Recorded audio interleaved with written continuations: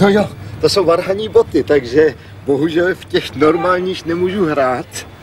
Je to smůla, protože ty jsou pohodlnější a teplejší, ale na hraní musí být speciální, takže to jinak nejde než ty varhaní.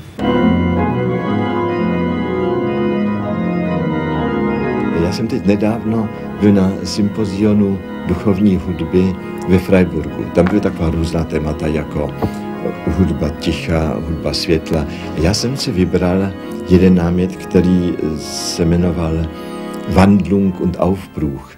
Když to měl nějak přeložit eh, volně, tak bych řekl asi pád a vzestup. A já jsem si to vybral, protože když jsem se díval na svoje skladby, tak jsem viděl, že celá řada, dost velká řada, eh, je vlastně vázaná na tyto dva momenty. To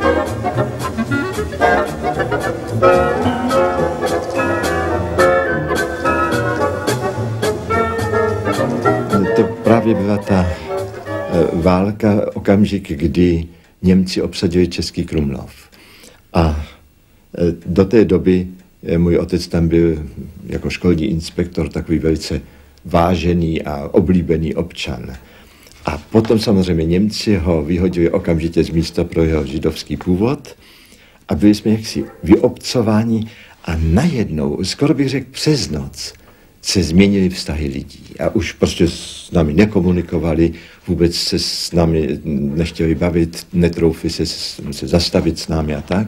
Takže to byl ten pád, ale já jsem si zároveň e, uvědomil v tu chvíli, jak vlastně ty lidské vztahy jsou strašně labilní, nestálé. A to mě přivedlo vlastně k, k mému vztahu k víře, protože bylo zajímavé, že kostel byl snad jediný prostor, kde jsem se cítil jako člověk, kde jsem cítil určitou důstojnost. A v tom byl ten vzestup.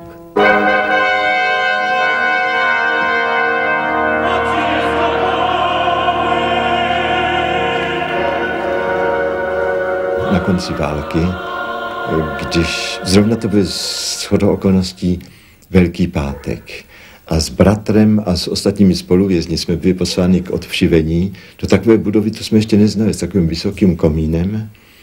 A e, tam jsme museli odevzat čaty a teď jsme vstoupili do místnosti, kde bylo takových 20 sprch. Jenže jsme teď nevěděli, co z těch sprch vyjde.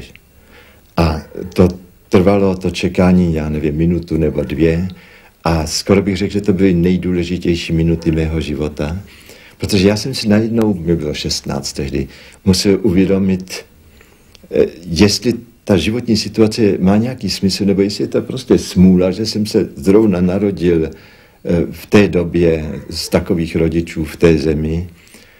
A ještě důležitější ovšem byl vlastně ten pohled na smrt, jo? protože eh, jsem si najednou musel uvědomit tak, co teď bude, je to jenom zeď a nic za ní, a nebo to bude pokračovat potom.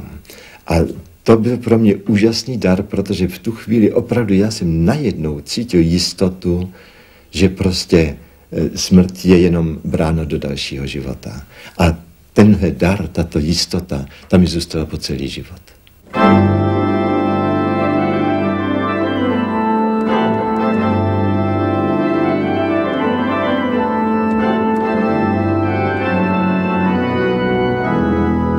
myslím, že ze všech eh, oblastí umění hudba je asi nejspirituálnější, protože ta je opravdu abstraktní a ta člověka vede k meditaci a k myšlenkám,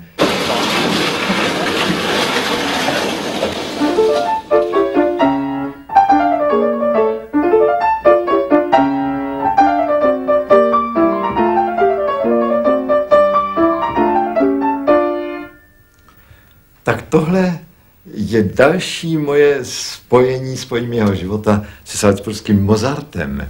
Já jsem totiž tento koncert, demol koncert, hrál při svém absolventském koncertu hudební školy v Českých Budějovicích před 45 lety. No a my jsme čekali, že bude plný sál a byl poloprázdný, protože spousta lidí byla na Budějovickém náměstí při volbě prvního dělnického prezidenta. Ještě jednou zkusíme, ještě jednou.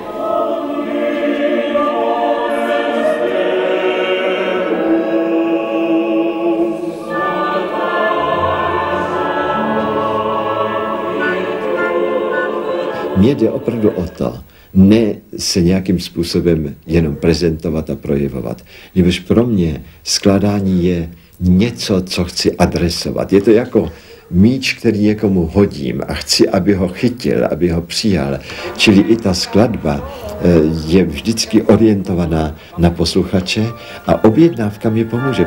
Tak tam musíme zjistit, jestli to nebude příliš silné pro sopran. Snad ne. Pojďme ještě 29, 20 číslem 9. 2, 3, raz. Já nikdy nevím, eh, jestli je to dobré. A ani když to slyším, tak si ještě nejsem jistý.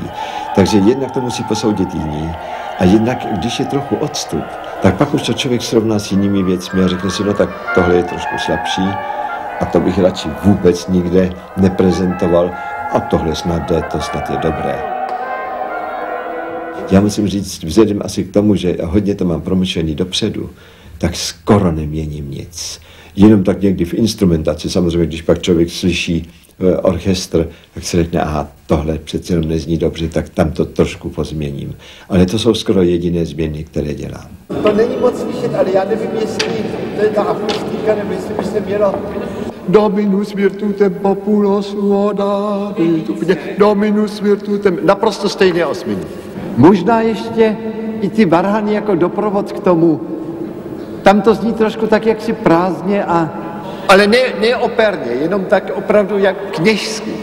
No především ta salzburská objednávka byla pro mě takovou velkou ctí. Že protože eh, psát pro Salzburský dom, když si člověk uvědomí, že tam psal Haydn a Mozart a prostě celá řada dalších skladatelů, tak jsem si byl naprosto vědom, že nejsem toho hoden.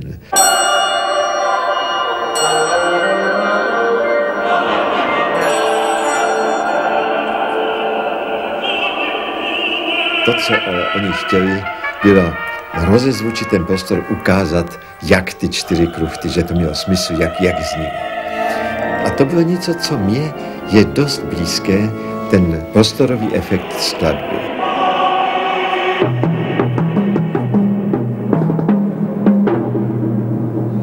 A hlavně mě jde o jednu věc, aby vyšlo to kant, to je jaksi moto to, té celé věci, že se zpívá nová věc, kantikum novu, že jo, čili to kantikum novum, tam to ti dam, da, aby to úplně jasně vyšlo.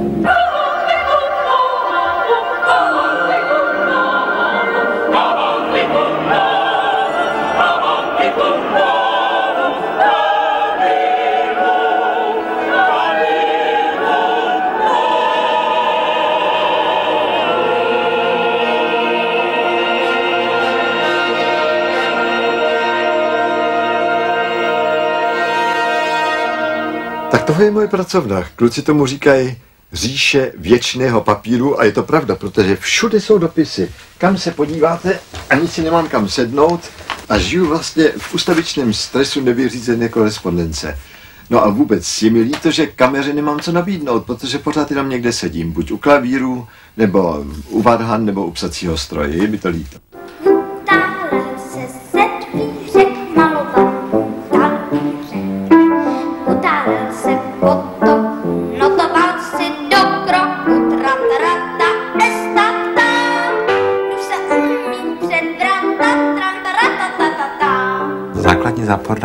Záporná, vlastnost je, že je příliš hodný.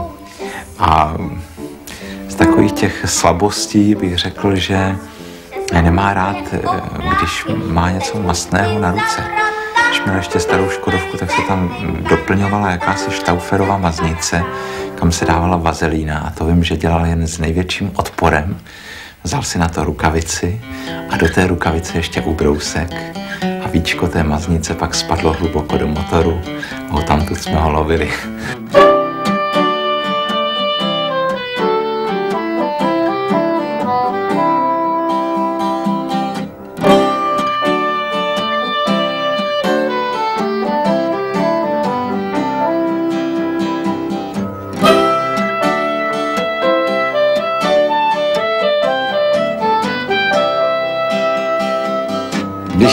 Kluci začali také spolu hrát, tak moje první reakce byla, že jsem se nechal vytapetovat dveře pracovny abych je neslyšel. No ale na druhé straně musím říct, že docela je mi ta hudba blízká a svým způsobem jsem jim vděčný za to, že právě pomocí nich jsem poznal některé výborné skladby, jak jazzové, rockové nebo folkové a to svým způsobem zase také samozřejmě rozšířilo diapazon mé hudební řeči. Zajímavý, že kdyby se chtěl někdo dobrat nějakého archivu eh, význačných chvil eh, života uměleckého mého otce, tak by nic nenašel, protože táta si nic z takových věcí vlastně neschovává, ani setkání s osobnostmi, to nemáš nic. Ne, nemám. Ne. Ale to, co se schovává v rodině, tak to jsou fotky zachycující tátu v neuvěřitelných eh, pozicích na jevišti. Takže z těch eh, fotek se zdá, že jsou to neobyčejně extravagantní večírky. Mám ten dojem, že to vzniká tím, že mám nějakou strašnou mimiku nebo přehnanou motoriku a že prostě gestikuluju. No jakmile se to pak zachytne nějakou momentkou, tak to vypadá úplně teda k usmání. Jeho hudba je taková, jak on vypadá na těch směšných fotografiích. E, prostě gestikuluje, e, má takovou neúměrnou mimiku, dělá prudké pohyby rukama, a taková je i jeho muzika e, impulzivní a dramatická.